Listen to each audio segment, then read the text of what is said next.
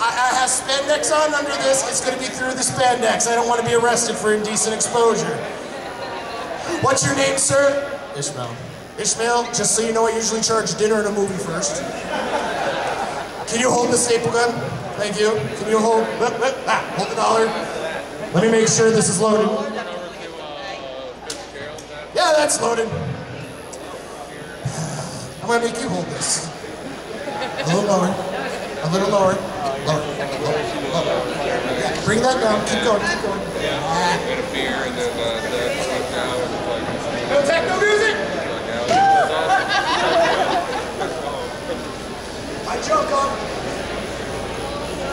You make a horrible minion. My junk, obviously. Let me readjust everything.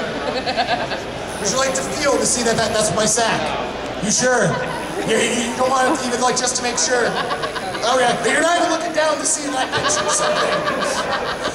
Here we go, ladies and gentlemen. This sir is going to staple a five dollar bill to my sack. He's like, I don't want to do this. I always shake. It's called being electrocuted a hundred times. She been here yesterday. Wick caught me with the taser. It was great. I want you to get President Lincoln between the eyes, please. Wait, don't press it right away. Hey, Wick, you gonna help him out? On three, he's gonna staple. Ready, guys? One. That oh.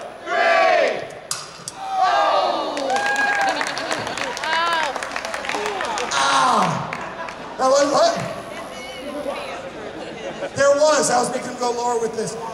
Thank you, folks, for hanging out, watching my shtick. Oh! Anybody want to keep the staple as a souvenir? I promise I'm clean. I will be back on at 5 o'clock. Thank you for your time and your attention. Coming up next, Fire and Slice. Give them a round of applause. And give this young man a round of applause for being brave.